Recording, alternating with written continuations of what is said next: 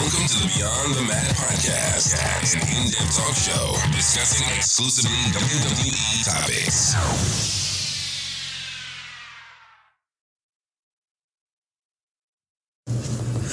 My name's Rick Boogs, and I came to rock with the Beyond the Mats podcast that is beyond the M A podcast. Podcast.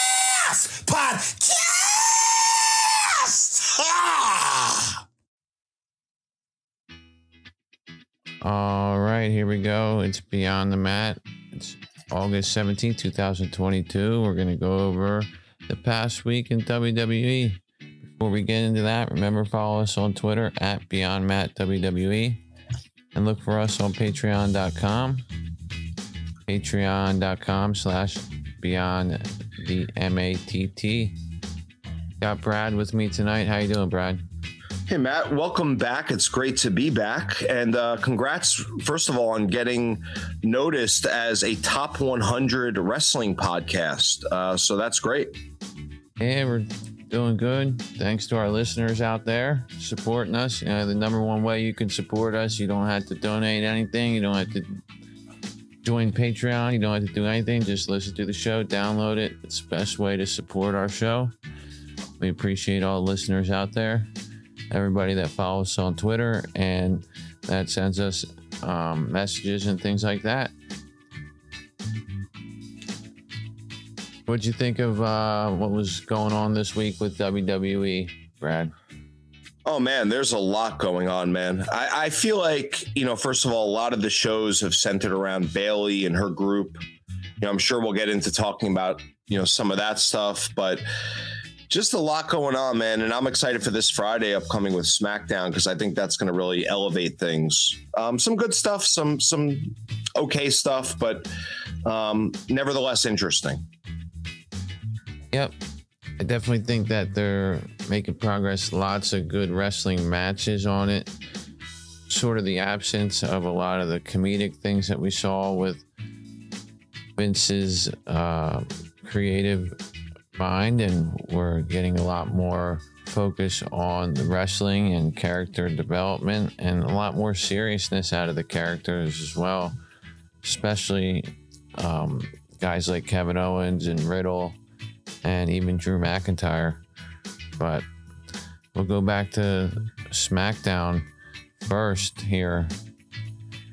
That show kicked off with the tag title tournament first round match with Raquel Rodriguez and Aliyah taking on Shotzi and Xia Li. Thought this match was a little bit of a throwaway match, not really too great. Raquel and Aliyah ended up winning it with Raquel hitting the Tejana bomb and pinning Shotzi at the end. They advance in the tournament. What's your thoughts overall on this tag tournament for the ladies? Yeah, man. I, am I understand they're doing a Raw side and a SmackDown side of, of the tournament. Interestingly enough, the SmackDown side includes an NXT team, um, which is Zoey Stark and uh, Nikita Lyons, very randomly thrown together NXT team. But, um, you know, listen, I, I, Rodriguez and Aliyah obviously advanced to the semifinals of this thing. Um, I'm surprised they didn't just kind of mix it up with the nature of the tag team championships being what it is as a belt that floats from show to show. I think you could have had, you know, maybe not the second round matchup of Bliss and um, uh, Asuka versus um, the the Bayley team. But listen, nevertheless, I, I think you know the right team here won, and you have a, a, an interesting matchup this week coming up with the NXT team versus Natalya and uh, Sonya Deville. So we'll see what happens there. Yeah, I kind of think that with the NXT team, we're going to see them. You know, they they haven't teamed together before. They're probably going to have some kind of dissension and maybe that'll lead to a feud in NXT or something between the two of those ladies. That's sort of what I was thinking uh, is the only sort of creative direction they can go in there. There's no reason why an NXT team should come up and upset a main roster team, especially veteran like Natalya and Sonya Deville. But who knows? Maybe they'll advance. Who knows? You know, I, what I think is actually going to happen is you're going to have the premier NXT women's tag team of Toxic Attraction show up and ruin that match for the current NXT tag team, which there was a little feud on Heat Wave. We're not going to talk about NXT, but um, I do think that that is what's going to happen. I think you're going to see your first glimpse of Toxic Attraction on the main roster this Friday. That that would be my guess if I had to guess. Yeah, and I do agree. It's a little bit weird that you know, we obviously we had in the first round last week, we had Dakota Kai and Iyo Sky win their match. And then on Raw this week, we had Bliss and Asuka beat Nikki and Doudrop, which, by the way, Doudrop has been lobbying to have her name changed, and looks like that's going to happen. So I don't think we're going to be calling her Doudrop for too much longer.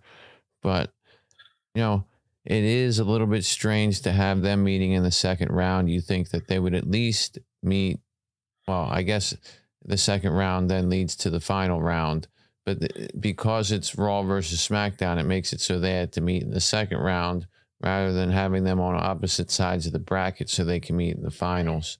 So they're clearly not emphasizing one of these two teams. And I would imagine it's Bliss and Asuka who's not really the the team that they're looking to go forward with as the champions. I think Sky and Kai are going to probably win that match and probably win the whole thing. Now, one of the things I think is interesting is I was at a house show over the weekend and Shayna Baszler and Ronda Rousey were tagging together and they beat the they just beat the brakes off of uh, Raquel and Aliyah, who were you know, they were so happy to be together. Raquel was carrying Aliyah to the ring and they were hugging each other and doing circles around the ring together. It was ridiculous. And then they ended up both tapping out at the same time. I wonder if after this tournament, you know, everybody's talking about, well, after this tournament, could um, Boss Glow come back? Could Sasha Banks and Naomi confront the winners of this? I wonder if Baszler and Ronda Rousey could be the first challenger for whoever wins this tournament because that would certainly bring some legitimacy to the women's tags titles, having Ronda Rousey involved in that. Of course, we have Shayna Baszler in the women's title match at Clash of the Castle against Liv Morgan. So I don't know that they would go that way right away. But then again, this isn't going to be wrapped up until around just before Clash of the Castle or just after. So they certainly could tag together.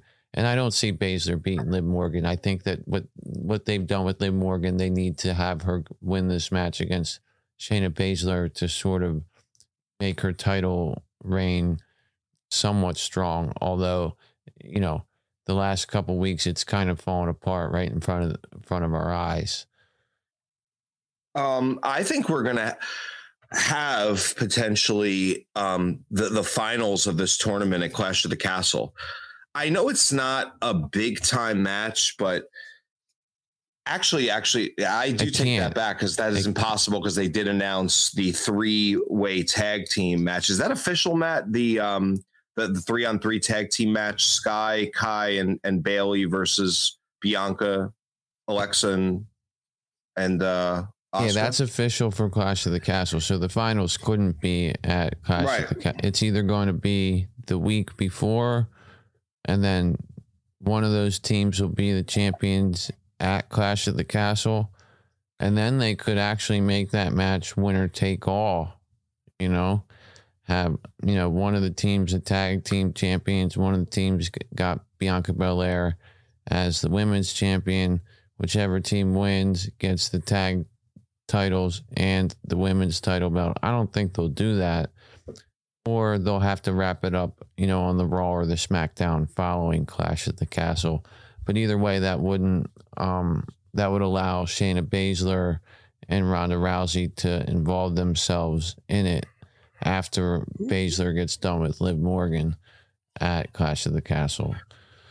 So the only reason I think that may not happen is because I think the second that tag team championship gets on their waist, of Kai and Sky, I think that's when Sasha and Naomi come out um, with with you know Sky and Kai holding the belts high in the ring, and you have a complete showdown and people go ballistic. I, I think that's what will happen um, right after that tournament ends. That, that that would be the only logical way to bring back Sasha and Naomi because I don't think you bring them back alone.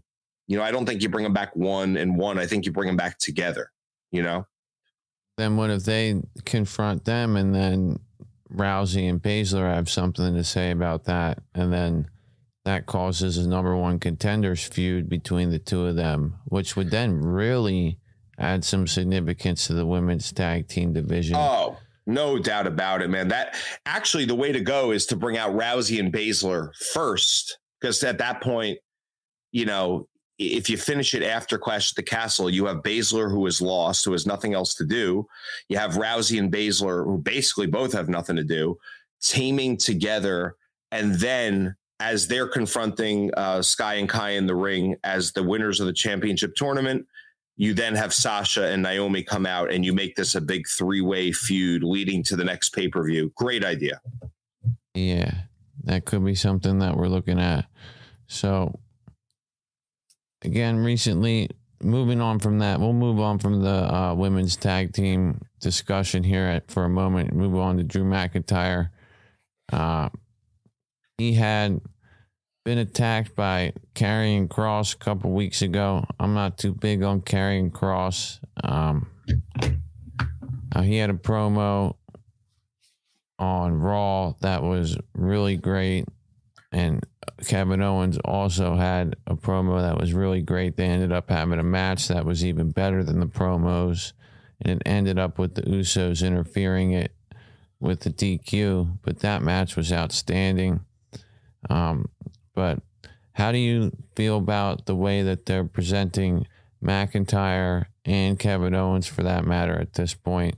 You see any difference, and do you like the direction they're going in?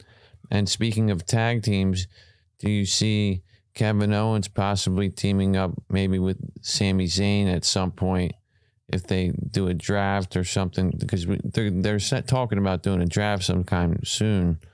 Maybe Kevin Owens can team up with Sami Zayn. Somebody's got to take those belts off the Usos. So. Well, you notice in in when Kevin Owens was walking to the ring to confront McIntyre, he mentioned Sami Zayn, his you know best friend, Sami Zayn was just on the Stone Cold Broken Skull sessions um, recently, mentioning Kevin Owens numerous times as his best friend. I know that Triple H um, is very big on Sami Zayn and Kevin Owens. I'm sure would love to get them together. And to me, you know, they're the type of team that legitimately will will will be there um, as a very legitimate contender to the Usos. So I love the way this all is intertwining with McIntyre and the Usos, even how McIntyre had attacked the Usos on SmackDown after getting attacked himself, only to be reattacked on Raw with Kevin Owens saying, Hey, you know, you, you tell the tribal chief he owes me one to the Usos. Um, this was just a very interesting kind of intertwining dynamic on all these different levels. Um, kind of what came out of this segment great promo by Drew McIntyre and, and Owens and and everything, including the match. I do think it's going in the direction you just mentioned, Matt, with with Owens and Zayn potentially. Yeah, and I think that would be a great thing to see.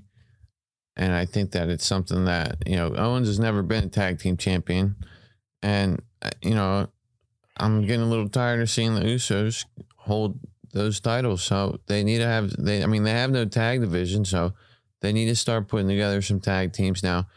Speaking of tag teams, we had the Viking Raiders uh, attack, beat the hell out of Kofi Kingston. It was supposed to be Kofi Kingston versus Ivar.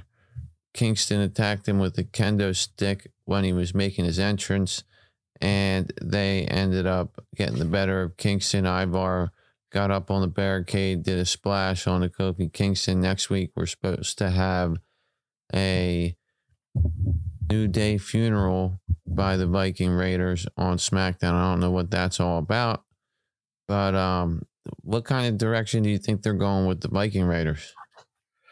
Man, I it's it's kind of hard to tell at this point, right? Like the only people they've really been feuding with have really been the New Day week after week um, since the vicious return, and I don't see them getting back in a title picture against the Usos because we saw that and we saw that get nixed at I forget what live event it was, Matt, um, where where they came down the aisle, but it just didn't happen. Crown Jewel. Um, yeah, yeah. Um, so um, it was Backlash, right? Not Crown Jewel, right? No, it was Um, Elimination Chamber. Yeah, Elimination Chamber. Yeah, I'm sorry, Um, I thought it was Crown Jewel because they're both in Saudi. same place. Yeah, exactly. Yeah. So, so honestly, this is just. I don't know what they're there to do, man. I, I I don't know if if they are really there to just buy time until the draft and the Viking Raiders go to Raw, which is kind of where I feel like they would belong a little bit better. I feel like they would fit into Raw a little bit better. Um, you know, it's a three hour show. You have a little bit more space to give them some room to operate, um, some new rivalries. I mean, there's really no one on SmackDown for them to go against other than the Usos, which isn't happening. So I don't know, man. I, I, I just don't see anywhere where it's going necessarily, but the funeral should be interesting. And maybe is that, I mean, are, are, are we potentially getting a Big E return in Montreal this week? is that possible? I don't think we're going to see that just yet, but I mean, who knows? I do know that one other tag team on SmackDown that just got brought back up is Hit Row. And uh, I'm not the biggest fan of them. I understand that they're kind of, it seems like Triple H is adding depth to the roster. Um, you know, a lot of these call ups aren't just, you know, blowing me away but somebody like Hit Row, Dexter Lumis, even I mean, say I know a lot of people are high on Dakota Kai. I'm really not. Um, I mean, she's fine, but I don't think she's like any anything spectacular at this point. Um, but what are you? What's your overall feeling about Hit Row? Man, I'm not a big fan, man. Um, and I hate to say it, you know, I look, I want to like or, or at least have something to appreciate about everyone. I just don't see it here, man. The the whole hip hop act with this B-Fab, who I find insufferably annoying.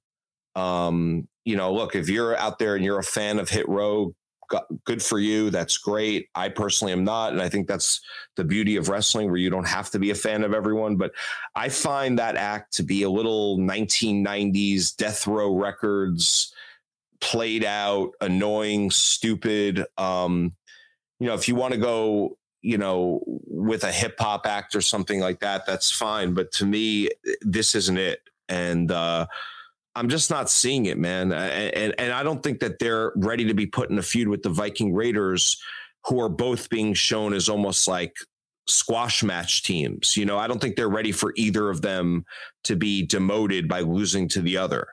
So I don't know if that's going there. It might be, but I know we're having the draft so soon, seemingly, according to what we're hearing, that the draft could be even the week after Clash at the Castle. So if we're having that draft, I don't see these two teams, Death Row and or Death Row, Hit Row, and and the the Viking Raiders getting into a feud. I mean, don't they seem very similar to the Street Profits? They do the same thing in the ropes when they enter the ring. Oh yeah, They- same thing. In and out and out. In out in out. Yeah, and you know they do the. I, I just, I'm not a hit row guy. I, I, I didn't.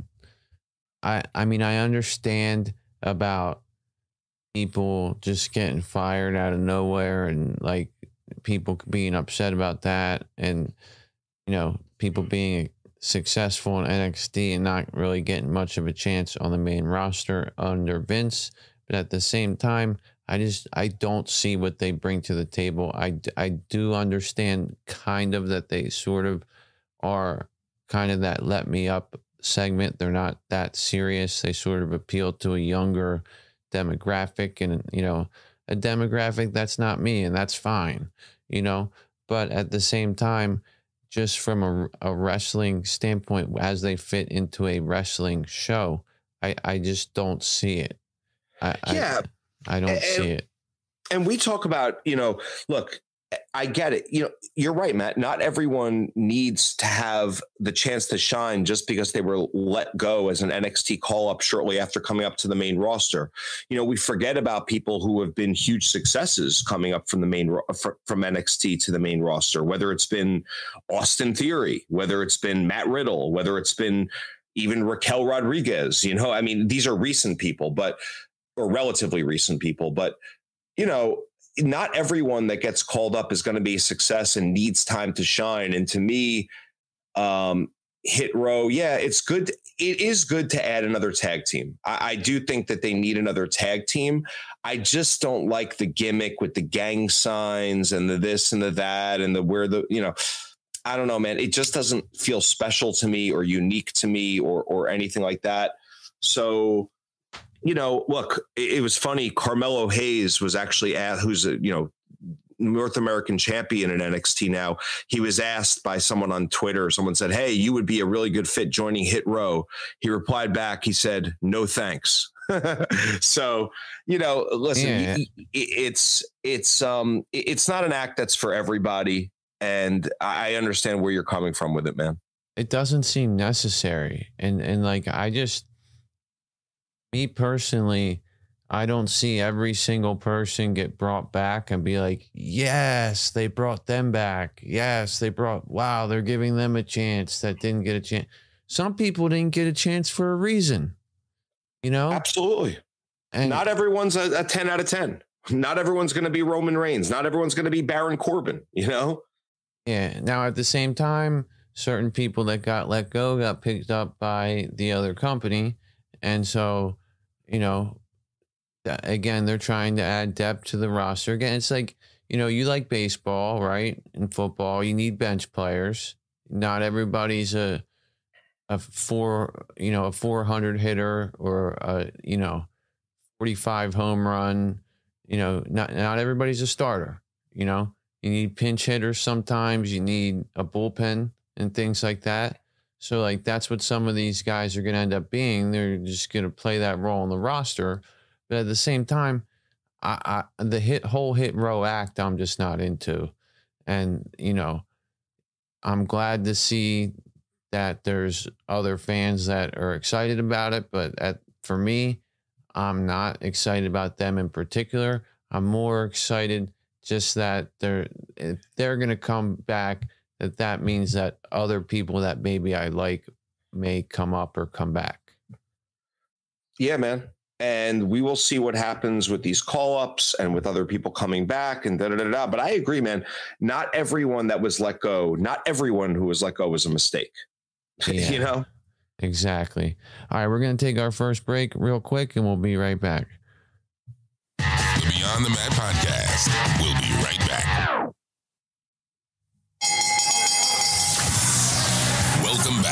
To the Beyond the Mat podcast. Yeah, the other thing about Hit Row, man, is that really the best worker of that group was Swerve, and he's not, he's in the other company now. So, you know, they're kind of bringing this back as more of a novelty act than anything. So, like, you know, we talk about how this you know, Triple H era, very serious, long wrestling matches, serious characters, not much comedy. And then your sort of comedy acts or your your uh, novelty acts or things like Hit Row, and you know that's fine. I'm not that into that act in particular, but you know there's other call ups that we're going to see soon. Most likely Santos Escobar people like that. I think Santos Escobar would be great on the main roster. Um, but back to Drew McIntyre. At the beginning of the SmackDown, we had Karrion Kross cut a promo um, back there talking about uh, whatever the hell he was talking about, and TikTok and Scarlett's looking at him like she wants to get in his pants. Uh, you know what I mean? Like the whole time he's talking, she's just eyeing him. And then he he turns around the corner and looks at Drew and Drew McIntyre's getting ready to go out to cut his promo. And it's like, you really think Drew McIntyre didn't realize there was a camera crew and didn't hear anything that Karrion Kross was saying over there. I I found that to be a little bit comical, but um. Well, yeah, I mean, during McIntyre started doing his promo, and he talked about you know Roman's the absent champion, you know, never there, and then the TV screen goes all black and white, and Scarlett comes to the ring by herself, um, no Karrion anywhere to be seen, and that whole um, segment was black and white for a little while which was kind of a cool look. And Scarlett did look good, and and, and she she does have a presence about her, um, far more I think than Karrion Kross does in a certain way. And um, you know, and then the Usos came in and attacked McIntyre, and that's when this whole thing started. That spilled over into Raw, you know, on on Monday. Yeah, to me, Karrion Kross, uh, you know, he's just you know, he can cut the promo, he can look scary, he can have the great presentation with the black and white filter, but when the bell rings, he's not that uh, polished in the ring, in my opinion. Um, to me, you know, he's somebody that they brought up to sort of use as somebody that, you know, at house shows they can plug into a main event with somebody who's a top guy, or he can get involved and messing up a main event. Like it seems like he may be trying to get involved in messing up this main event at Clash of the Castle. But I hope he doesn't mess it up too bad because that's a big main event for the UK to have McIntyre and Reigns over there. Um, but you know, McIntyre to me is uh, really starting to kick it up a notch. We're not seeing the, the sword. He's getting real intense at, uh, on the Raw um, promo that he cut. He said, Listen, we're two wrestlers in a wrestling ring. Let's just wrestle. And that's what they did. And they, they really put on a great match. And, and I, I like the direction they're going with McIntyre. He's, and, um, you know, I'm interested to see where where he goes. You know, could he beat I mean, Drew? Matt, could he beat uh, Roman Reigns? I mean, that was my question to you. I mean, do you look, man? This is a weird main event because in the at Clash of the Castle, because in the first way, in the first way, you think, well, there's no way that Roman is going to lose with all this momentum and, and, and, all the merchandise being sold and the Paul Heyman and the bloodline having all the belts. Um, there's no way that's going to happen. But then you say, well, it's in England. It's it's near or as close to he's ever going to wrestle to Drew McIntyre's hometown. There's going to be seventy thousand people there. It's going to be ballistic.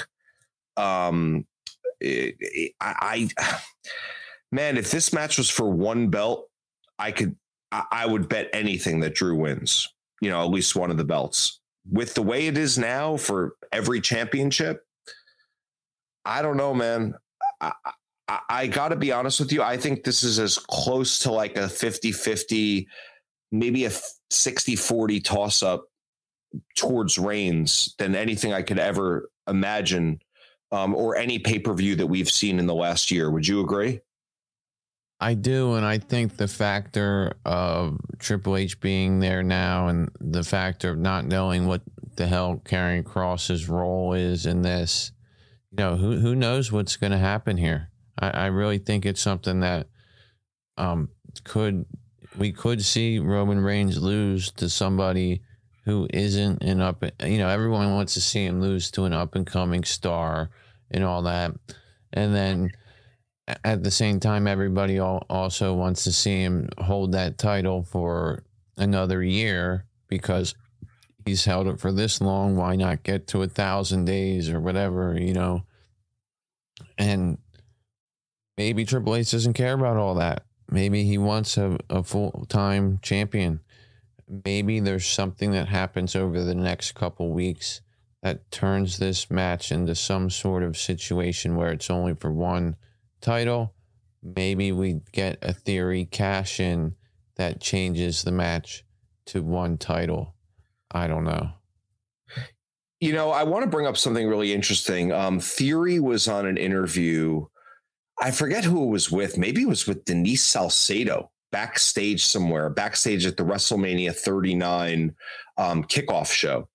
And Theory said, you know, I might hold on to my belt until that Roman Reigns versus Rock match at WrestleMania 39. And he goes, right after the Rock wins, he goes, I'll cash in on the Rock or something like that, which that that I could see happening.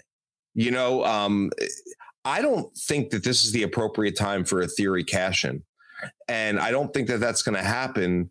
So, man, I, I think we're going to learn a lot on this Friday SmackDown. Look, it's in a, a big international city in Montreal. You know, they want to do something good for this SmackDown. Um, you, Roman is going to be on the show. Drew is going to be there. Maybe you get some sort of stipulation with theory coming out where you hear it's only for one belt. I don't know if that's too obvious, but uh, again, man, this is I, I cannot call it. I just don't know if they would make Drew lose in front of his home people. You know, man, like I, I think that's a factor. I'm sure they're thinking about that, right? Yeah, especially lose clean. But then again, do you want to make him have a a bullshit finish in front of the UK that hasn't had a big pay per view in, in 30 years, you know? So there's a lot yeah, of there's a lot of factors in play there. Especially with Karrion Kross being the um, catalyst for that bullshit finish. Like at the end of the day, he's a guy that really most people don't know. Uh, a lot of diehards know who he is, but I don't know if that's the guy you involve. It's not like you're involving Undertaker in the finish. You know, it's not like you're involved, you know, for a crowd of this size and for an event of this magnitude, you know, that that's the thing to me, man. I don't think you could have Karrion Kross screw this up. I think having Karrion Kross on the roster screws things up. Yeah. My Weird, opinion. man. Weird. Yeah. I mean, but Moving on here on SmackDown, we had Liv Morgan and Shayna Baszler do the contract signing. Shayna Baszler attacks Liv Morgan, takes her to the top rope.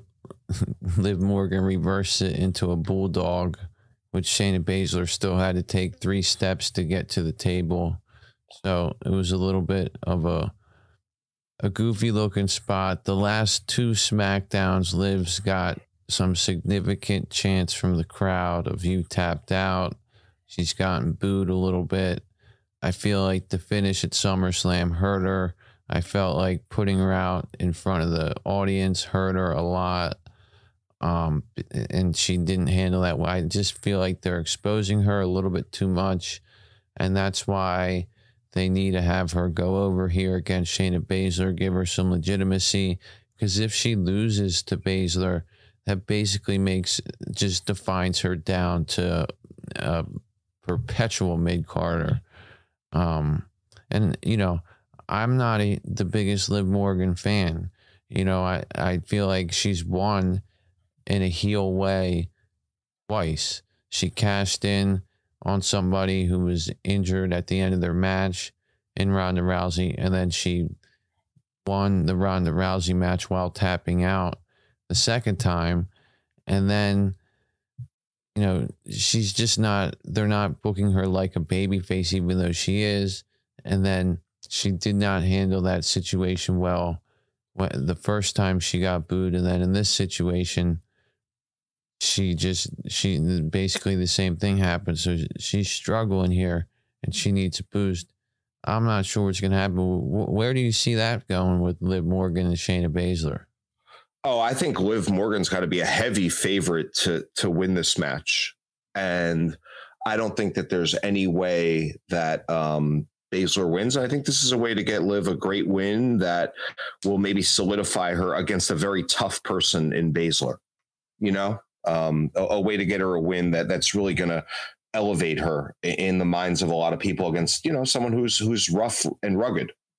Yeah, I I do think that you know, they need to make her look strong in this match. It, it cannot be like the Rousey match, five minutes of her just getting her ass kicked and, you know, only being able to get in one move of offense and running away from a submission hold the whole time. You know, they need to book it a way that, you know, Liv at least looks strong one way or the other in, in winning or losing fashion. You know what I'd love to see, man? And, and look, I don't know if they would do this to to Baszler, but I'd love to see a very clear, like wire to wire win by Morgan, where there's almost like never a point in the match where Baszler really has a clear advantage or is in a position to do any damage really whatsoever. I mean, maybe she has a submission hold and Liv gets out of it or whatever, but I'd like to see something like that. And you know, I, I know that that's not very nice to do to Baszler, but um, you know, they're putting her on a pretty big stage here um, in that regard. But I, I, I think that's what's needed for Morgan. And as I'm just scrolling through, just looking at the odds, not that this is a, a major indication of anything, but Liv Morgan is a four to one favorite to win that match right now on Bet Online. So just something you might want to think about. Yeah, I think Liv Morgan will go over in this match. I don't think it'll be uh, Liv Morgan just tearing the house down against Baszler and, you know, dominating the match because that's just not what we've seen from Triple H in really any of the matches aside from the squash matches. They've all been competitive. They've all been back and forth. They've all been dramatic. We've had near, you know, the winner has been in question in almost every single match that we've seen. So I do think that it'll be a match that's competitive and both women will come out looking because that's you know how you should book matches. Both both people should no matter who wins both people should come out looking strong. And i think that triple h understands that and i think he'll do that. Now, I don't know what he sees in Liv Morgan. I know that he likes Shayna Baszler a lot, but I, I do think that in the long haul, you don't want to bury Liv Morgan any more than she's already, you know, sort of gotten herself buried. Not uh, not necessarily buried, but you know, you don't want to damage her any more than you already have. She is a, a fan favorite and a prominent part of the women's division. At this part, at this point, so, you know, if she's going to win this match or lose the match, it's it's got to be competitive. And Baszler's got to look strong in it too. Otherwise, you know, it just it defines her down even more. And they obviously don't want to continue to do that to her.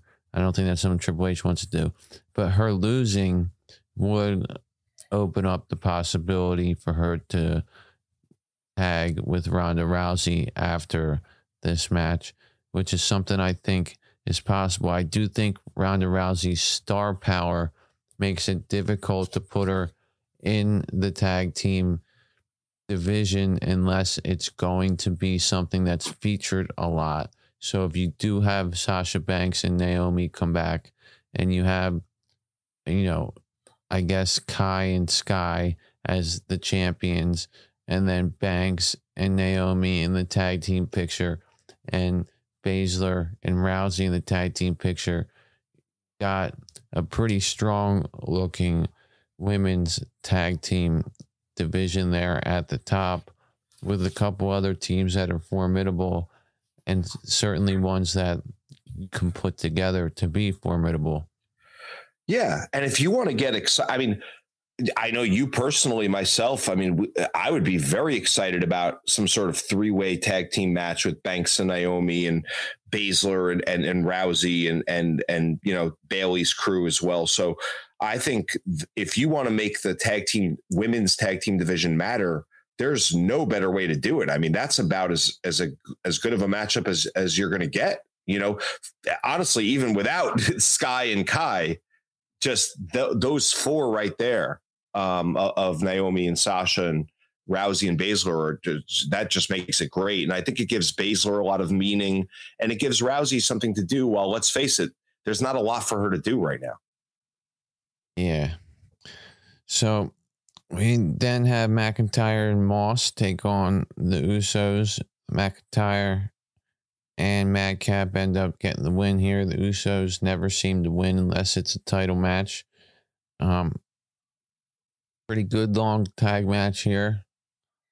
Um, you know, I don't. The pairing of McIntyre and Madcap's a little crazy because you know, back at uh, Saudi Arabia, McIntyre almost killed Madcap Moss with that Alabama slam. Now Moss and Babyface, they're tagging together. But I do think that Moss has looked better recently in the. You know, he's he's got the speed. He's looked strong at the house show the other night. He was in the main event tagging with the Profits against Sheamus and the Usos. And they did a lot of nice spots in this match. It was worked really well. Then we got a Ricochet interview where Corbin ended up attacking him. I thought this was maybe the best Ricochet's ever sounded in an interview because it didn't feel like he was totally scripted. How'd you feel about Ricochet in his interview here?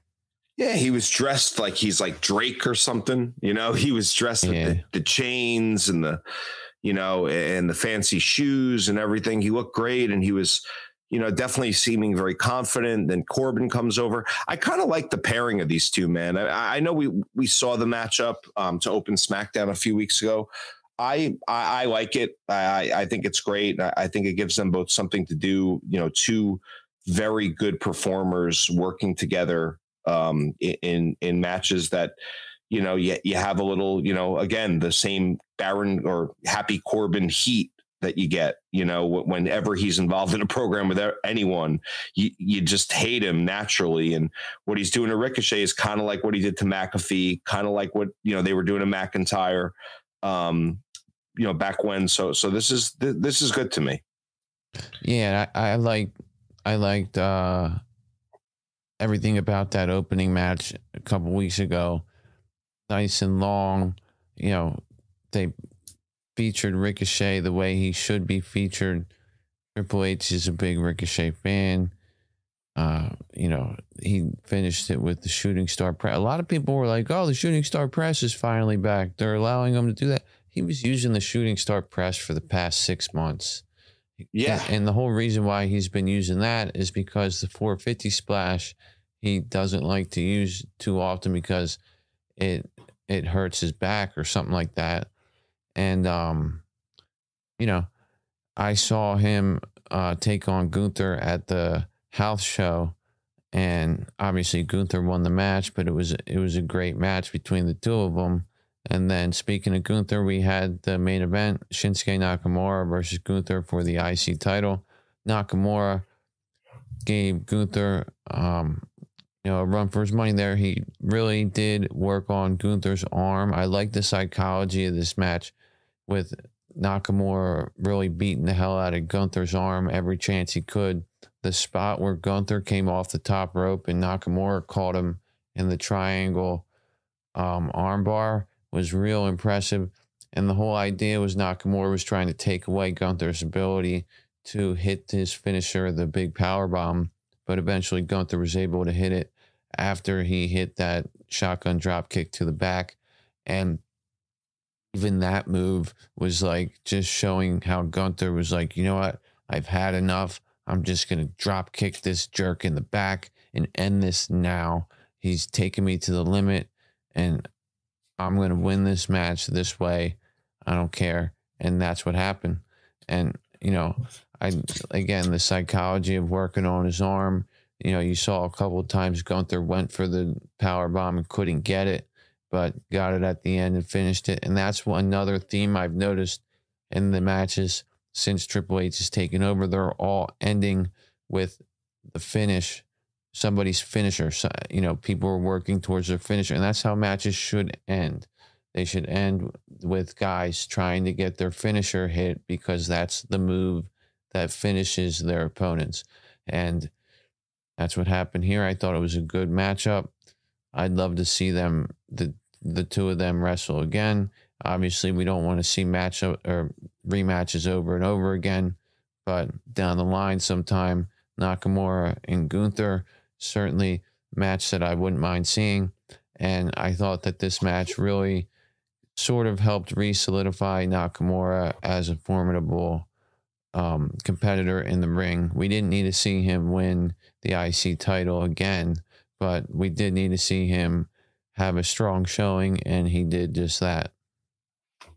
Yeah, and um, you know it also re-solidified the Intercontinental Championship, with which you know Triple H is clearly trying to make more important and try to bring up and elevate. So that's kind of cool.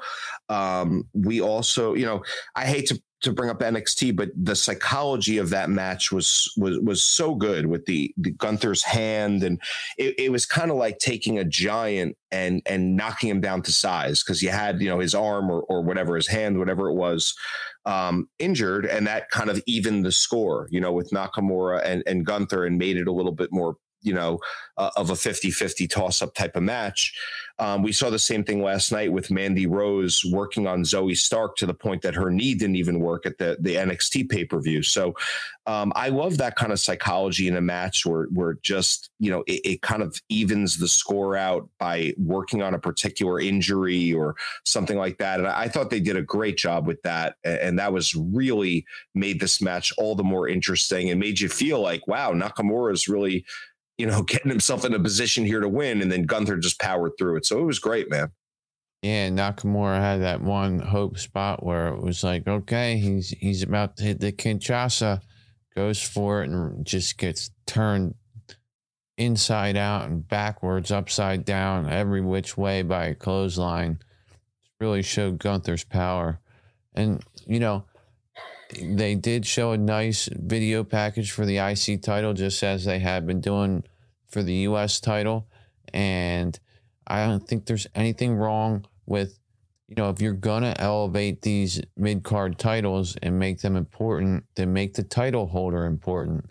Let the title holder hold it for um, six months, eight months, nine months. Is I'll I'll tell you this about um, the U.S. title now we have uh, WrestleMania 39 coming up, right? And on the promotional poster, we have Roman Reigns, we have Becky Lynch, Bianca Belair, Ronda Rousey, Bobby Lashley. Wow. Now you would think maybe somebody else like uh, Seth Rollins, Riddle. Rollins, Riddle, um, Theory. Yeah, a lot of other people.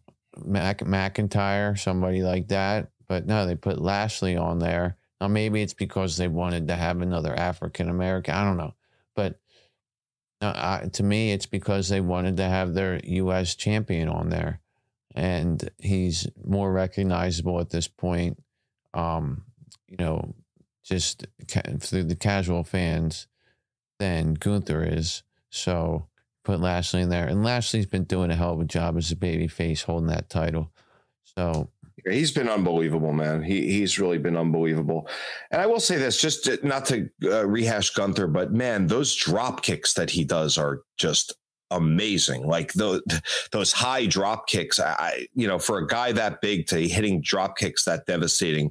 Gunther's got a lot of good stuff going on, man. I don't love his entrance. I actually liked. I got to say this. I liked Gunther's old entrance when he first came up, but even before he had the title.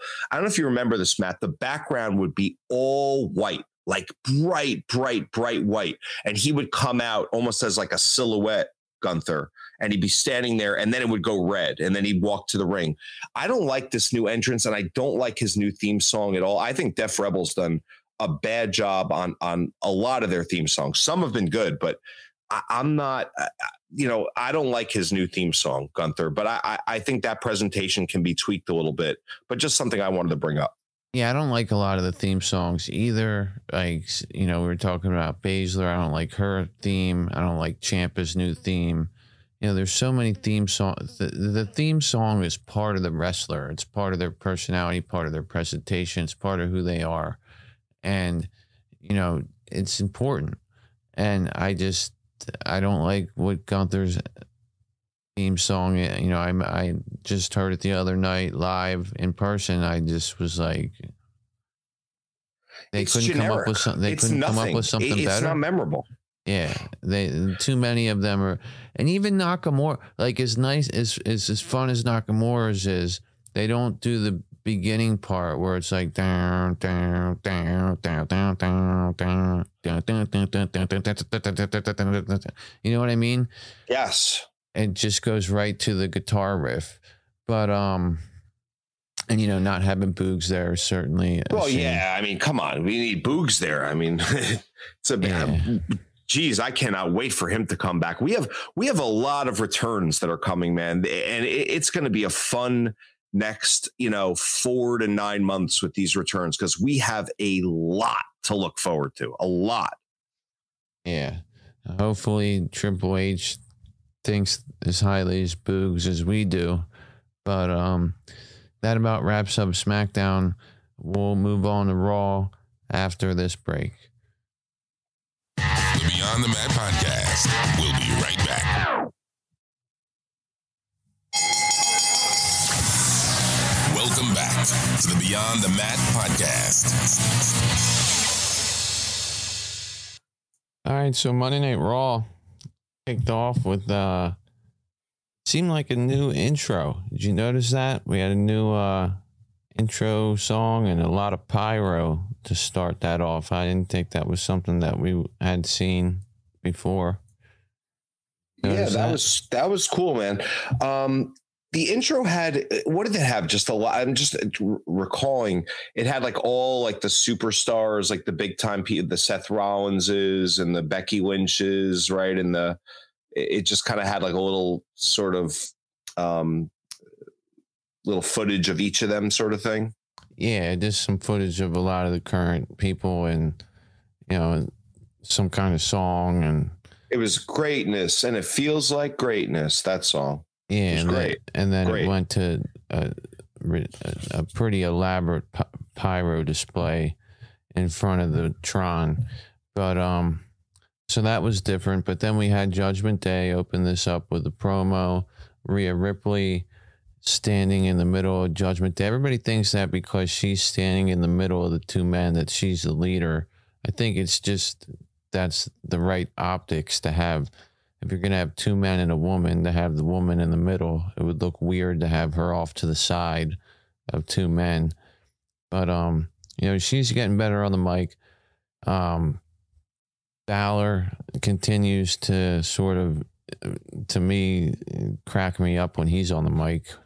You know, you're a bad father and stuff like that. And uh, I am danger or whatever the hell he was saying before. But um, you know, Priest gets on there, talks about his match next week with Edge, says he's gonna end his career, but not just end it, put him in a wheelchair, make him have to be fed through a tube.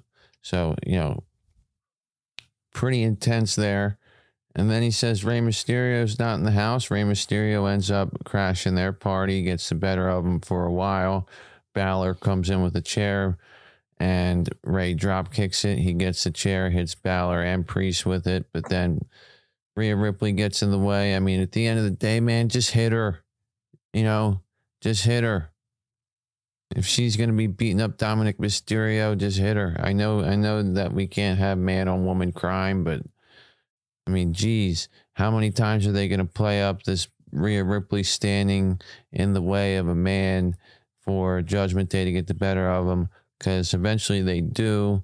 Balor hits a coup de grace on the chair on top of Rey Mysterio.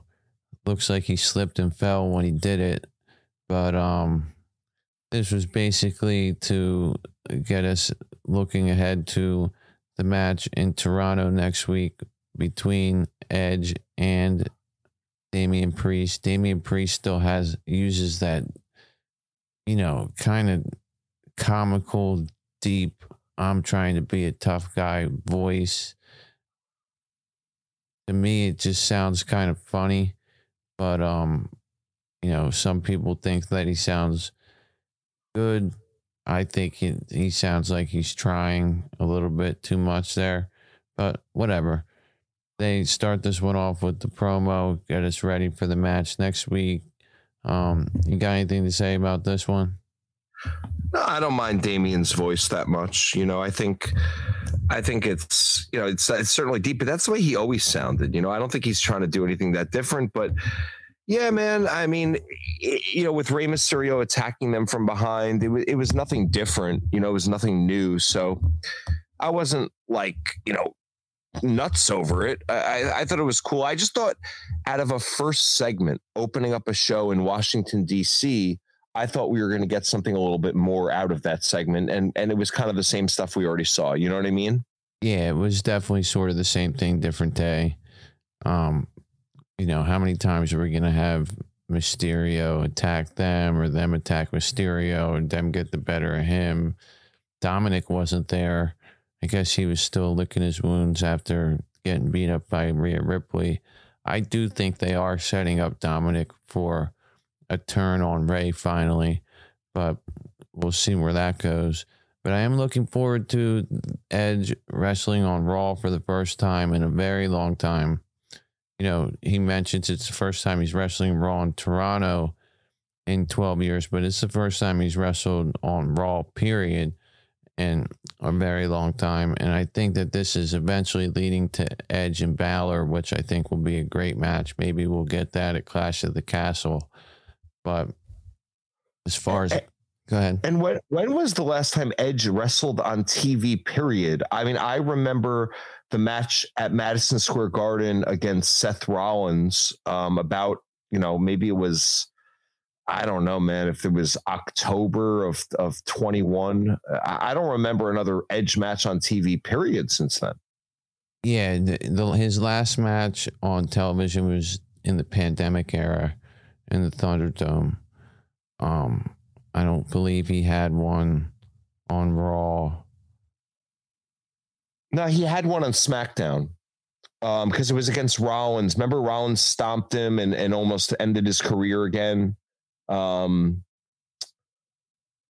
unless I'm that was a segment. I, I, it really doesn't matter. It's just an interesting fact that you brought up that I didn't even you know kind of put put it together until you mentioned it.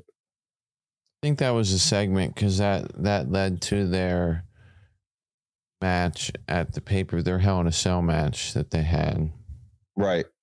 But um, moving on from that, the first match of the evening was a, another tag the final first, or not the final first round, but the final first round match on the Raw side. Alexa Bliss and Asuka versus Nikki and Doudrop. We had Nikki ditch the cape and ha- turn it in for a leather jacket. Doudrop, as we mentioned earlier, is looking for a name change. I think pretty soon we're going to see that which will be great. I think the Doudrop name is stupid and it just, you know, it defines her down. I think she's a, a good wrestler and a good hand on the roster. And I think the name just, it hurts her. And I, the way that they've been booking her in the matches honestly hurts her because I think that she did a good job in her program with Becky Lynch. Um, I guess earlier this year. That was at the Rumble when they had that match. But anyway, Bliss and Asuka end up going over this one. Asuka, this was probably the best of all of the three women's tag matches we've seen, and, for this tournament, this was probably the best of all three. And that's not really saying much, but Asuka gets the Asuka lock, Asuka lock on Doudrop to finish this one off. Doudrop hit a really nice looking Michinoku driver in this match, which Michinoku driver seemed to be a theme of the night. It seemed like in every single match, somebody hit a Michinoku driver at some point. Um, but, you know, Nikki tried to break that up. Alexa cut her off, and Asuka got the win. So Asuka and Alexa will move on and face Io and Dakota in the next round of the tournament next week. So, again, that matchup's not going to be for the finals, but I don't think it needs to be. I, I think that Alexa and Asuka don't need to be champion. Now they have Bianca Belair ringside with them, basically to do nothing. I mean, we heard, heard nothing from her. She just twirled her braid and everything. But um, you got anything to say about this match? Yeah, so I kind of wanted to see Bianca come out there and like establish herself as the leader of this this little trio, and that didn't happen. You know, I wanted to see Asuka, even if, if I'm sorry, if, even if Bianca got on the mic for a little promo and it said, "Oh, I want you know, I want you guys to show them who's boss, or I want you guys to show, you know, just something, man. I, I just would have liked to have seen that, knowing that we have this six man tag coming up, you know, and we didn't get that, which is kind of weird from a champion, aka leader. You would think they would put her in that sort of position, you know? Yeah, and then as they after they won, they they exit, and Bayley and her group are waiting at the top. The officials come out to uh, get in the middle of it before anything, you know, before they mix it up and you know they faced off a little bit there. So they'll be facing each other next week. Will dakota kai Iyo Sky versus alexa bliss and asuka. I would imagine that somehow dakota kai's team will win that one and they will move on to the finals. So I don't see Alexa, Alexa Bliss and Asuka as a permanent tag team, although they, they certainly could be. And, um, you know, a lot of people were saying last week, oh, Alexa didn't have the doll. Well, she had it this week. And maybe they're trying, maybe they're like, hey, look, we got a couple more of those in inventory. We got to, we got to keep uh, advertising it to get, get uh, some more sales there. But, um, you know, I'm, I'm more interested to see now that Nikki and Doudrop lost this match uh, can we get a repackaging of both of them? Can we get a different Nikki, Nikki Ash, Nikki Cross, more of her NXT character? And then I'm interested to see where they go with Doudrop's name change and, you know, repackaging of her. But, you know, better tag match than the the other ones that we've seen so far and probably going to be better than the one we'll see on SmackDown this week. And then I think next week we'll probably get a real nice one with this team and Iyo Sky and Dakota Kai. Um, but it's pretty much all I got to say about that. We had Mustafa Ali and Cedric Alexander take on Miz and Ciampa. You know, at first I thought the Miz and Ciampa combination was a little bit weird, but Ciampa seems to be playing into it very well. You know, Miz actually worked very well in this match. He was by far the least impressive wrestler in this match, but he actually ended up getting bloody. So, you know, we're seeing a, a more um you know, a tougher Miz here under Triple H not seeing him just doing the Miz TV segments and, and not mixing it up with anything. Really cool spot where Mustafa Ali went for the 450 splash and Ciampa drop kicked him in midair and then hit the fairy tale ending on him to finish him off. And I also think Ali and Cedric Alexander is a pretty cool tag combination as well. So you see some emphasis here on the men's tag division getting different tag teams established here. Although we have tag teams like the Los Lotharios.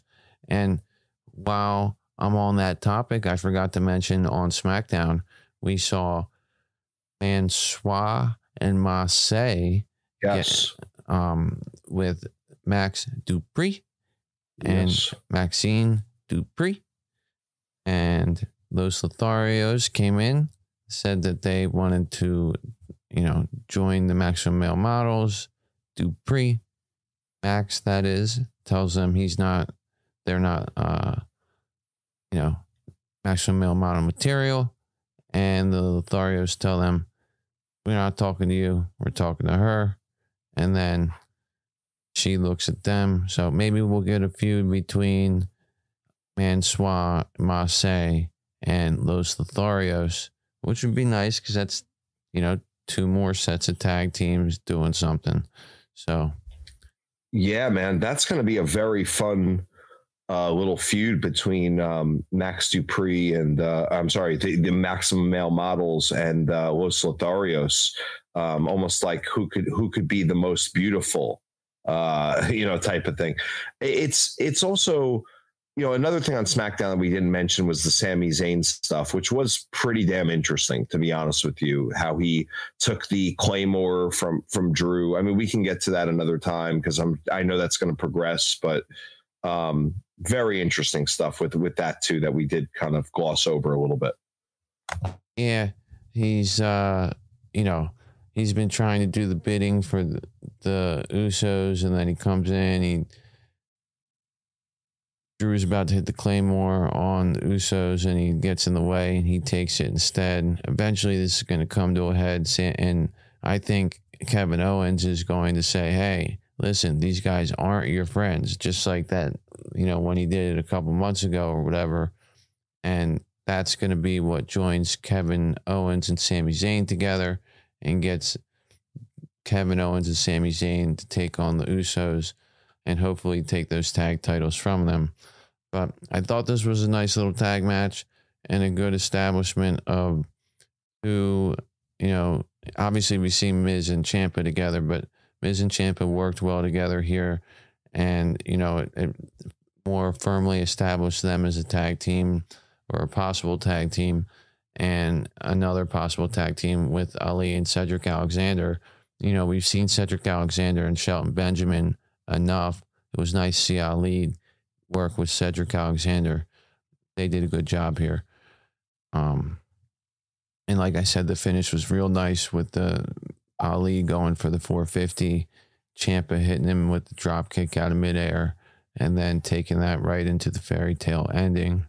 I always think the fairy tale ending is a really cool looking finish, and a lot of, a lot of Ciampa's stuff is is good. I I his style isn't really my style as far as like always doing just the big running knees and the and the you know arm breakers and things like that.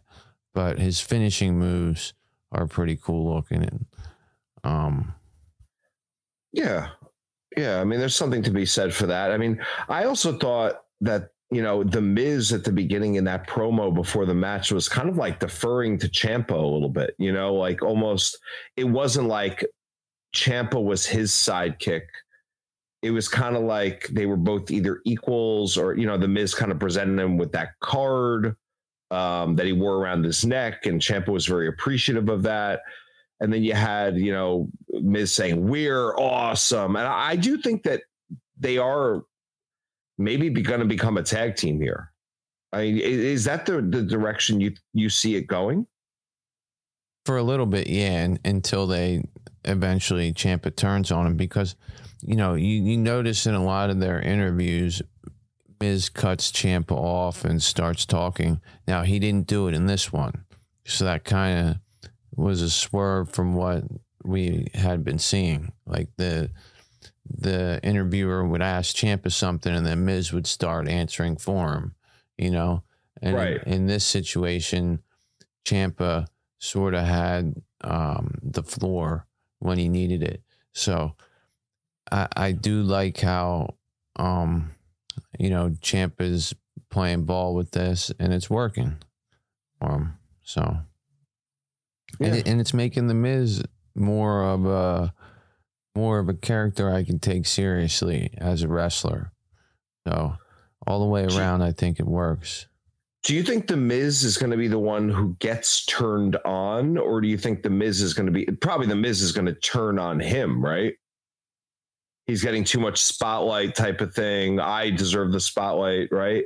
Yeah, because first Miz was, uh, you know, taking the spotlight from him in the interviews, like I was saying. And then now Champ is starting to get it.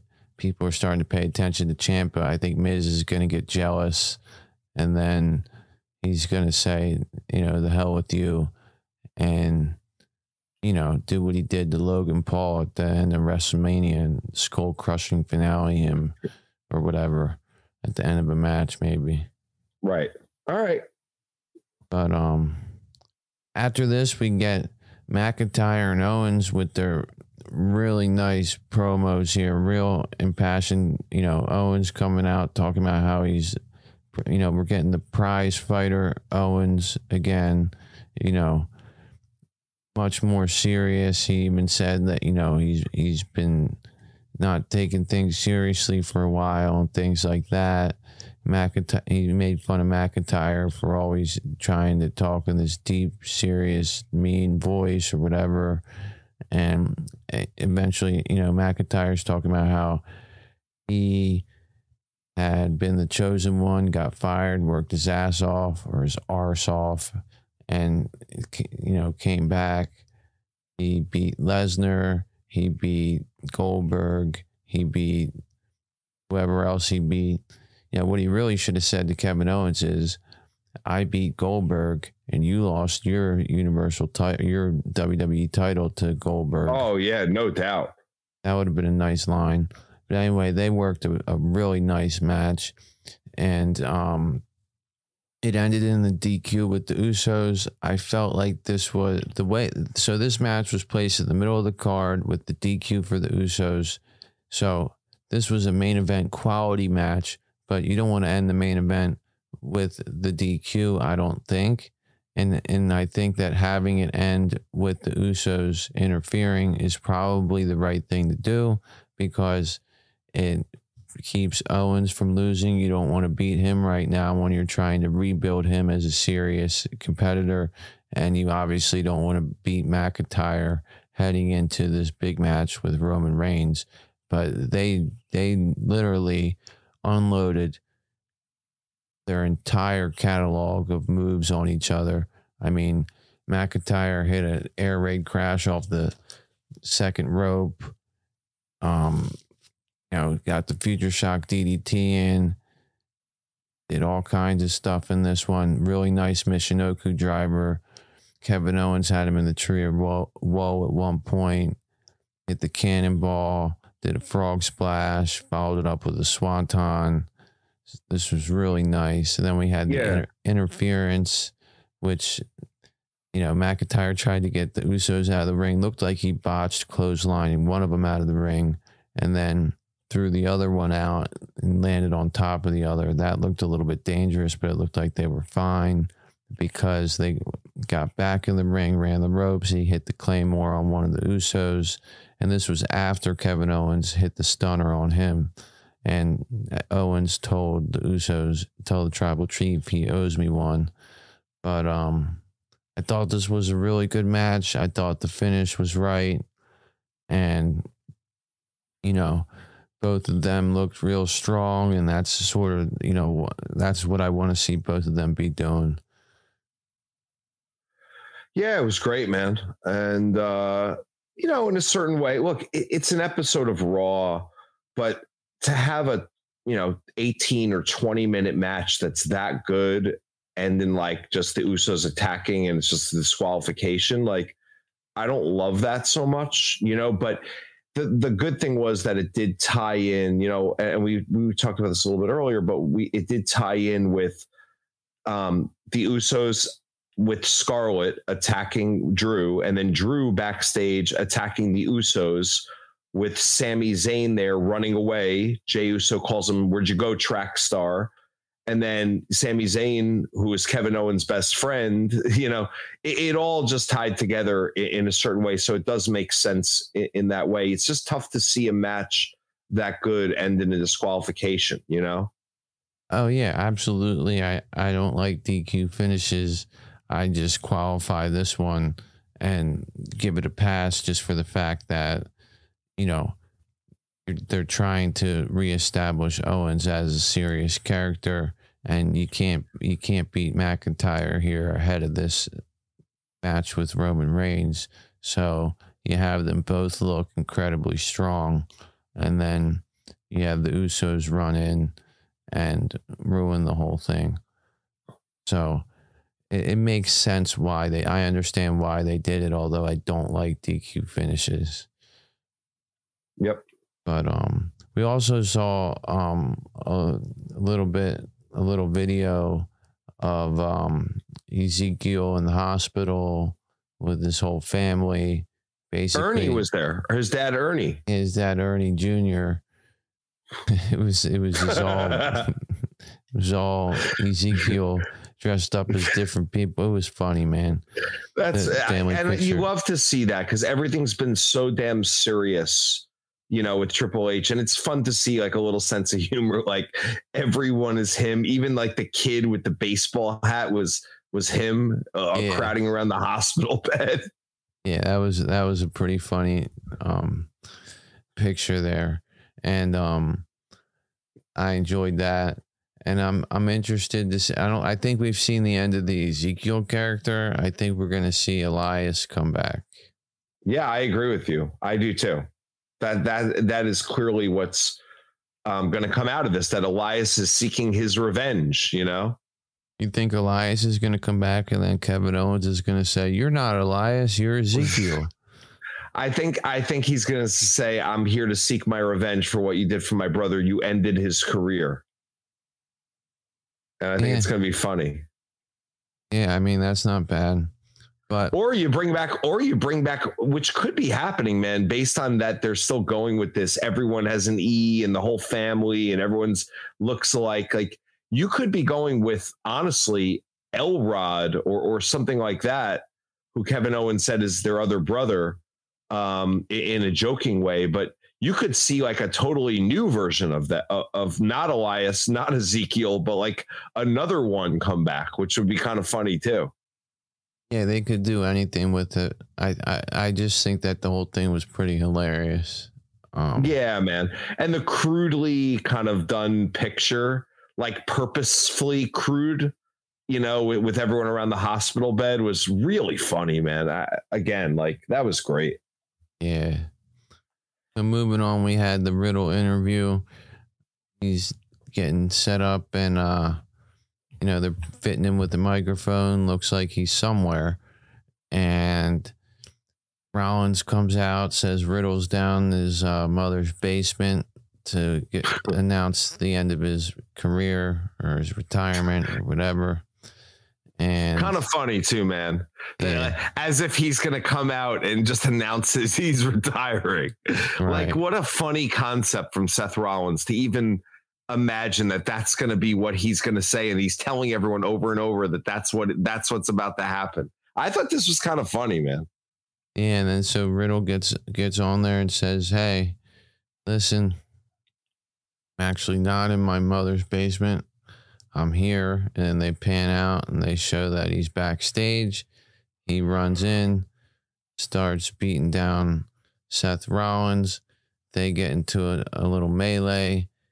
They fight over the announce table, which was another thing that we saw a lot of tonight. We saw a lot of people getting thrown over that announce table. Um, eventually, Riddle hits a nice knee right onto Rollins, and Rollins flies over the barricade like upright. It was such a nice bump he took over that barricade after taking that knee from Riddle. And um, you know, that was all to, you know, portray Riddle as more of a serious guy. They're re- definitely, you know, laying off of the um, you know, they, they've they've added some IQ points to Riddle, I think, here Yeah. and um, you know, making their match here, going into Clash at the Castle, you know, getting some heat for it.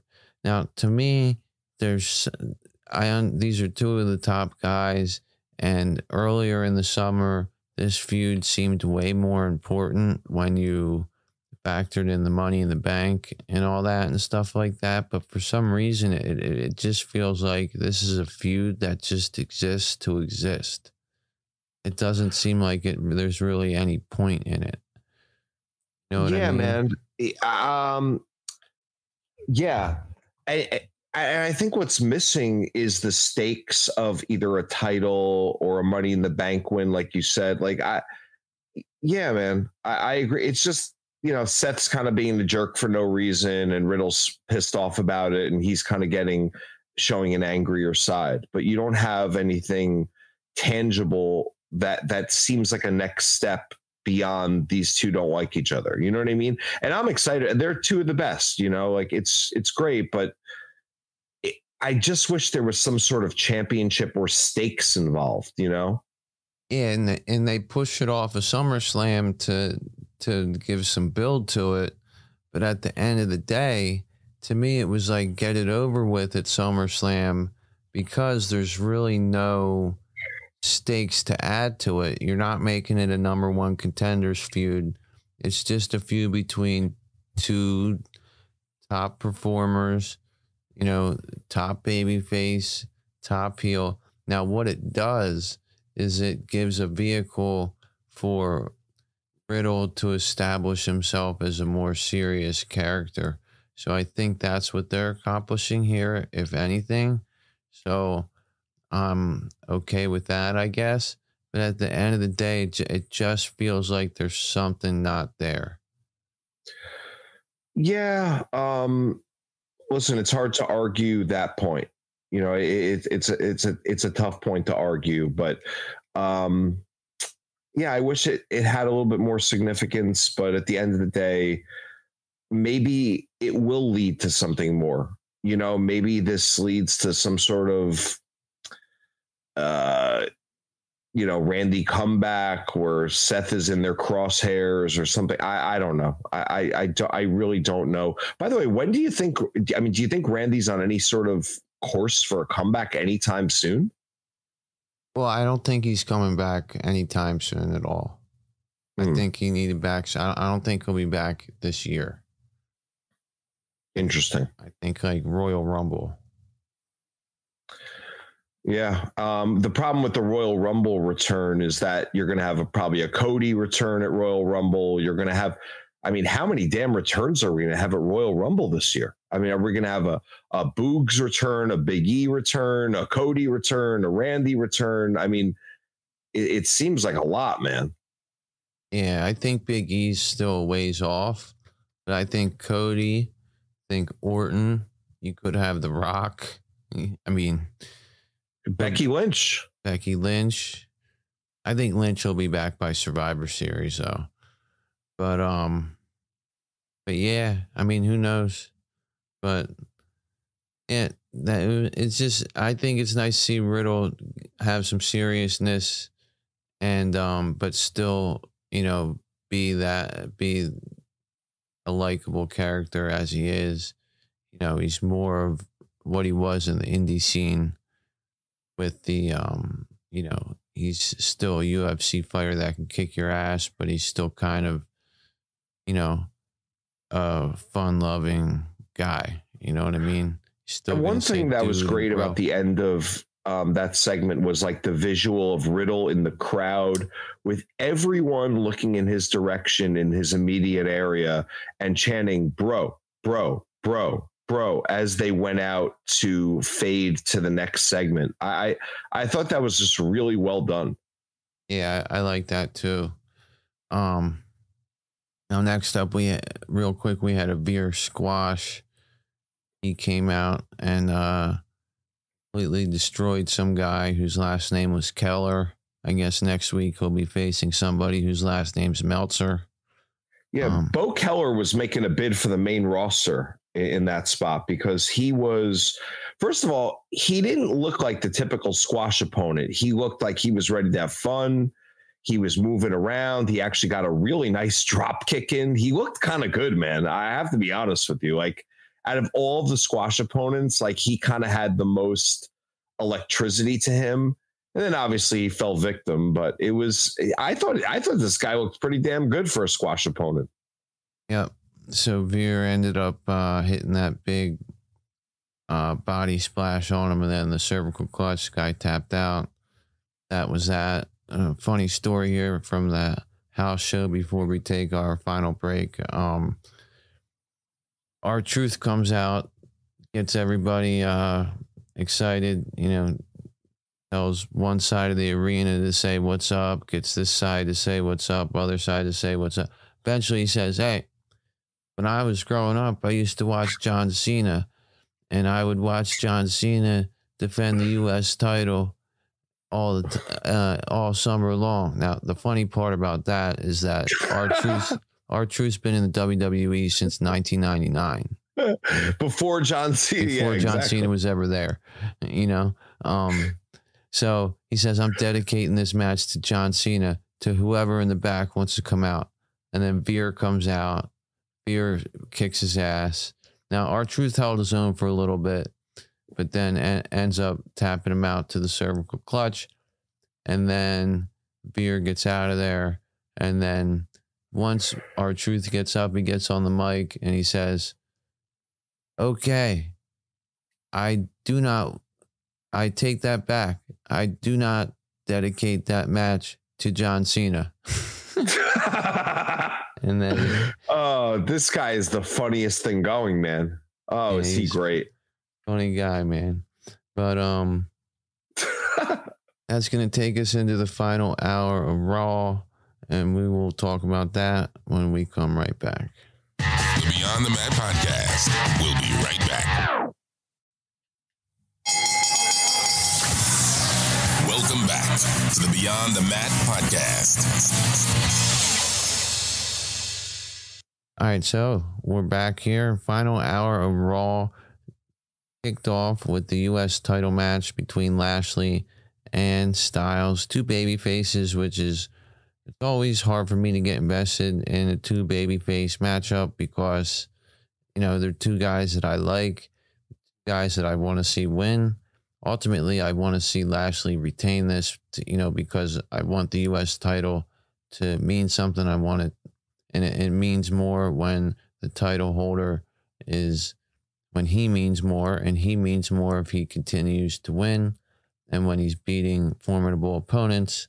That makes it mean more. So, and I think you can justify AJ Styles having this match, having, you know, collected some wins before this. And they did a real nice video package before this match. So, um, you know, they, they ended up working, you know, I think like 18. No, this was a long match. This was like a 22, 22 minutes. 22, 22 minute minutes. match. We had a run in here by The Miz and Ciampa. We also had Dexter Lumis uh, basically jump the barricade and jump over the announce table. The whole the announcers didn't acknowledge him. That took us into a commercial break, but this was a really nice match. You know, Styles hit a really nice looking forearm going to ringside. Lashley hit a dominator. He had a really painful looking spine buster. Styles tried a rack bomb, which was a little bit sloppy. Um, just given Lashley's size. Uh, I really like the spot where AJ Styles got Lashley into the calf crusher, and then calf, and then Lashley reversed that into the hurt lock from the same position. Um, uh, Lashley did his fireman's carry into the ring post that he likes to do. Um, really, really good match here between the two, these two. You know, Lashley's a powerhouse, and there AJ Styles has the ability to just hit move after move after move after move, and doing it on a guy like Lashley's even more impressive. Lashley ends up winning after hitting the spear, which again, right way to finish it with his finisher, and he uh, retains his title here. What do you think of this match? Yeah, I liked it a lot. I mean, the only thing I would have liked to have seen was at the end w- was you know maybe Lashley and Styles kind of shake hands. You know, I I don't know why I needed that, but I did kind of want to see that, and we just didn't get that. Um, other than that, you know, look, it was good. It's just again, it, it is hard, like you said, to get invested in two people that you like. You know, it's much easier to do bad on bad or heel on heel. You know, because you know, in a certain way, everyone kind of has their favorite heel. But like with a match like that, like yeah, I, I hear you, man. You want Lashley to win, but you, you, you sort of want to see Styles win too. It's just a weird feeling you get from it, you know? Yeah, it, I feel the exact same way. Um, you know, it was funny at the house show. Bianca Belair and Asuka fought for the Raw Women's title, and I was like, these two people were aligned on TV. Like this makes no sense for them to be fighting. And they and obviously Bianca won, and they ended that one with the handshake, and Asuka raised Bianca's hand. And I thought that that was something maybe we'd see here from Styles and Lashley. Now, the other thing about this match was that a lot of people thought, well, this should have been the main event match because it was for the U.S. title. What the hell? Well, the thing is, if you put this in the main event, let's say it goes on at 1040 Eastern time, then you know when the finish is coming. Because it was at 10 o'clock and there was still an hour left of the show and two matches left, you don't know when the finish is coming. So it made it less it made it less predictable when it was in that spot rather than the main event. So I was fine with it not being the main event match, even though it was probably the biggest match on the show. What did you think about the placement of this match? Yeah, and I did hear something about there was a big TV series finale on cable that night that they wanted to to maybe potentially place the match in the 10 o'clock hour i'm sorry in the at the end of the 9 o'clock hour for that reason. Um that you know maybe it it stole some thunder from that um particular series finale or or whatever it was. Incidentally raw did beat that series finale and was the number one show on cable and i think it got you know 2.1 or 2.2 million viewers or something like that. But um, Better Call uh, Saul. Yeah, Better Call Saul. That's what it is. But um, it's, you know, listen, man, I have no problem with Theory being the main event. And I, I think that this was um, fine in the spot that it's in. And you have to remember, man, uh, they know that you know the third hour of raw does the ratings do drop just because it, it's late on the East Coast. You know, people have worked the next day, and I think I think you could get rid of that third hour entirely and be just fine. Um, I hope that is something that they do because to me, even even Seth Rollins said it recently. He said a three hour wrestling show is just obnoxious. I mean, two hours is like the perfect amount of time for a wrestling show. So I had no problem with this being in the middle of it. Screw it, man. It didn't need to be the main event. It's fine. Even Triple H has said he doesn't like the three hours. Um, but you know, money talks, and that's why they have the three hours. And it's been three hours for ten years. I don't think we're going to see it change. Even though I would agree with you, two hours is a lot more palatable. Um, but yeah, having this one at the you know crossing over into the top of the last hour or starting the last hour or whatever is actually a way to keep people engaged for that final hour. Now, after this match, we had Dakota Kai and Dana Brooke. Dana Brooke still carrying around that 24 7 belt for whatever reason. Um, not even mentioned really at all that she has it.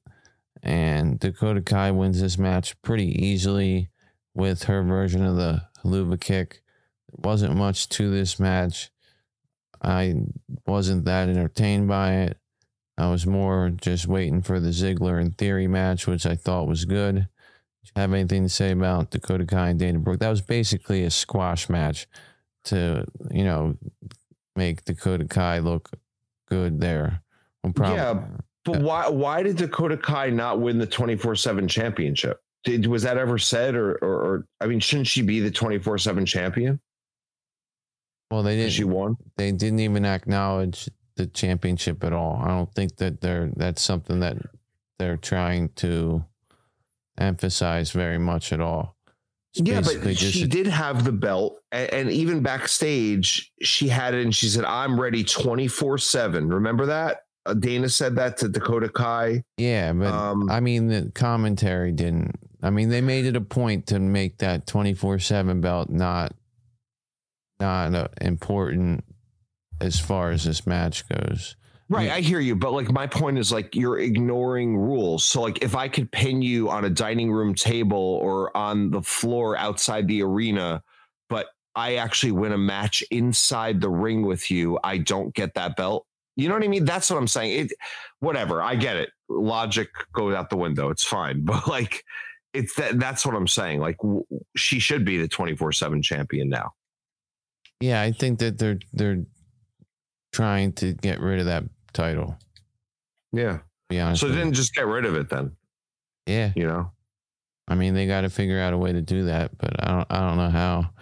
But um anyway, we get Ziggler and Theory in the main event. This was set up by a earlier interview where Theory, you know, had a couple of pretty weak insults for Ziggler, called him a non title having washed up has been or whatever. And um they ended up fighting. Um, in the background, you could see a door opening with a glove. A lot of people thought that this was Bray Wyatt. It was definitely Dexter Lumis. You know, another backstage segment we saw a, a trash can on fire, security guards putting the fire out. That was when Drew McIntyre was walking past it, right? Yeah. So Yeah. Loomis is you know wrecking havoc backstage and running over the announce table. This was a pretty good match here. Um, at one point, Theory went to do his little roll through his somersault through the uh, ropes into the drop kick, went right into a nice looking Fameasser by Dolph Ziggler. Eventually, Theory hits the ATL on Dolph Ziggler, finishes him, wins the match. And I think that the point of the, having this in the main event is just to end the the feud or whatever the hell's going on between Ziggler and Theory that was started when we were still in the Vince McMahon era. And this was Triple H's way of ending that. Decent match. Nice to see Theory back on TV. Thoughts and prayers to him and his family after he had a death in the family of his uncle. That's why we didn't see him for a little while. And I thought that, uh, you know, it was a well worked match by the two of them. Some people will say that they don't need to see Dolph Ziggler. I think he's great in the ring. And I think that he's a great guy for somebody like Theory to be working with. Um, what do you think of the main event? Yeah, man. Look, it was great to see Theory back. And honestly, like to me, this was a little bit of a way of of like saying to everyone, like, oh, you, you thought, you know, Theory was gone for a few weeks. You thought that I wasn't high on him. Well, well, he he ends my show tonight. You know, he he's my headliner going off the air. So I think that might have played a little bit of a part in it. Like you've heard a little bit, you know, of doubt, like, oh, you know, you know, Triple H isn't that high on theory. Triple H, from what I've heard, um, and I'm I'm just reading a bunch of different sources, but I, I've heard he's very high in theory, very as high, if not higher, than Vince McMahon was. You know, and let's not forget, you know, Theory and Triple H were together a lot in in um um uh, NXT and and they they they did a lot together in NXT. Uh, Johnny Gargano was was with um, Theory a lot in NXT. There was a lot of segments with them. So, you know, you have um, I, I think a statement, if nothing else, like, hey, this is still a guy that I'm very big on from from Triple H in the way that he booked the show. Yeah, I agree. You know, um, and it's great to see him back, man. And I, I, I don't know why so many people hate this guy. Uh, you know, may, maybe it's because of the character, and he's incredibly cocky and incredibly mean and rude as a character, and and to me quite funny as a character. But I just, I just love him, man. I, I'll tell you right now, over the last few months, he has creeped into like my top five favorite people to watch in all of WWE. I love watching him in the ring. I love the way he talks shit to everyone who he's he's going against. I love how he interacts with the crowd and he, he talks back to them. I love what he does. I, I just love it, man. It might not be for everyone, but I love it. Yeah, I, I, I like Theory's um his progression as a heel character. Definitely very um doing a really good job. He's come a long way, even since WrestleMania. Done a hell of a job. What do you think of him as a wrestler, like in the ring? Like, do, do you do you think he's very good? Because I, I find him to be great to watch. I'm just curious what you think about him as a wrestler.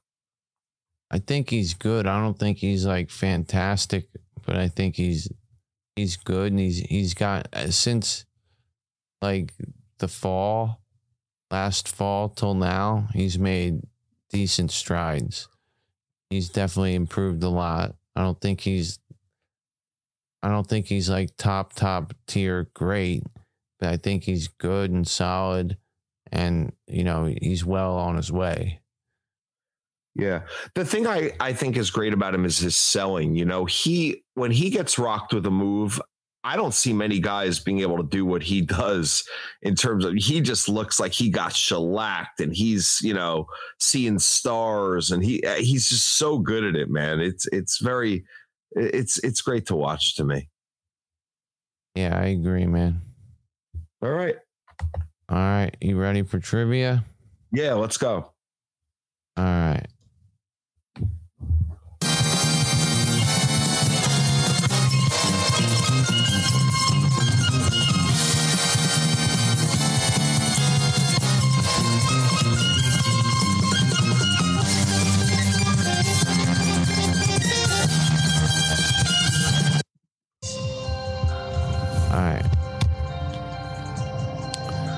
Jinder Mahal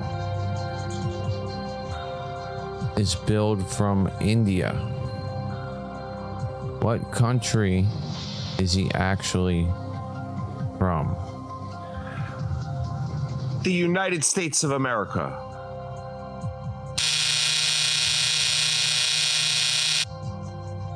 One more try. Sri Lanka.